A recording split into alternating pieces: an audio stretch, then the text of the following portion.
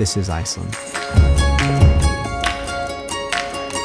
Pristine is a word that sticks in my head every time I visit Iceland. I've never really experienced it to this level.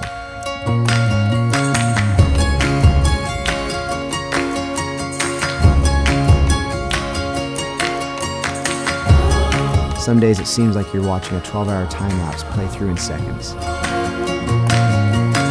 As we drove around the island, it was clear you could find solitude very quickly.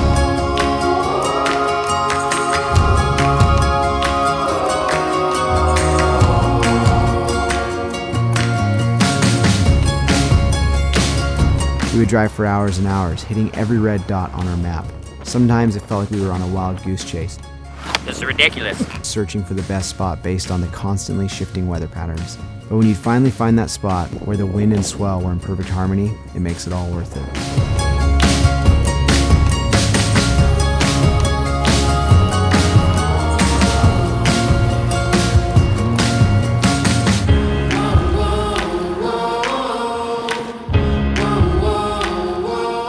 Each time we surfed, it felt like I was discovering a new spot, never seen or surfed before. We were searching for surf, but I found myself taking less and less glances at the ocean and taking in all the beauty that Iceland had to offer. There's a lot of exploring to be done here. I've been to Iceland multiple times and have marked so many notes in my maps that they're almost useless.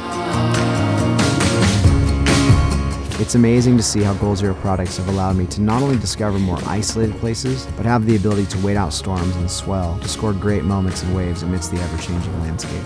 No longer do I have to drive back hours to the nearest village to charge my equipment for the next day as chances to shoot pass by. I can be always mobile, constantly searching, and in that constant search of the moments that I can capture my best images. With the newfound freedom that Goal Zero products have given me, I can't wait to see where they take me next.